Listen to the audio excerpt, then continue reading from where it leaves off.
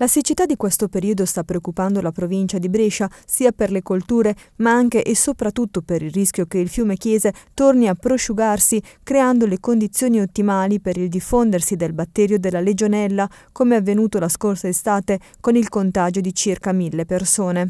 Serve dunque un intervento immediato e da sollecitarlo è anche la TS di Brescia che per voce del direttore Claudio Vito Sileo esorta a correre ai ripari.